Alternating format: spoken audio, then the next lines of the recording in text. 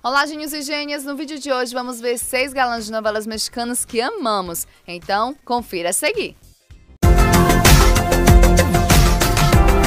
Eugênia Silva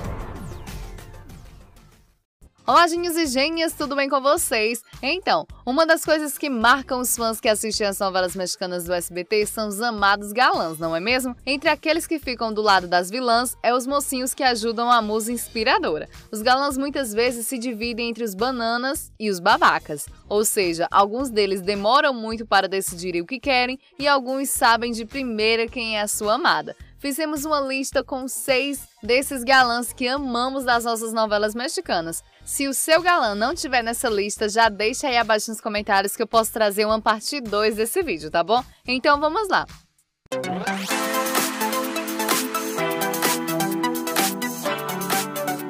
Carlos Daniel de A Usurpadora. Interpretado por Fernando Colunga, Carlos Daniel é o par romântico da vilã Paola Bracho, interpretada por Gabi Spanik. Mas durante a trama ele acaba se apaixonando mesmo é por Paulina, a gêmea boazinha de Paola Bracho.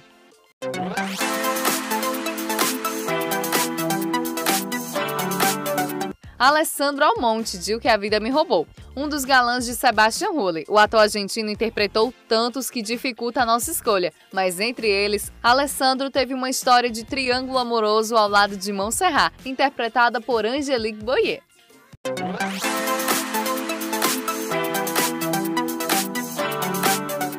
Otávio Narvaez, de Coração Indomável. Otávio é o típico galã indeciso, ele não sabe o que quer e às vezes se deixa levar pela opinião dos outros. Interpretado por Daniel Arenas, ele está atualmente no ar na novela Coração Indomável.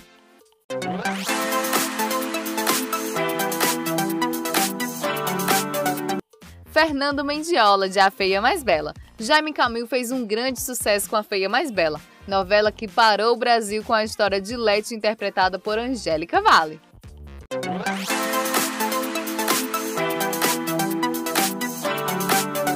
Alessandro Lombardo, de Sortilégio. Willa Levi e seus galãs. Sortilégio é aquela novela que deixa o coração dos fãs brasileiros com tanta reviravolta, principalmente entre o caso amoroso de Alessandro e Maria José, interpretada pela bela Jaqueline Bracamontes.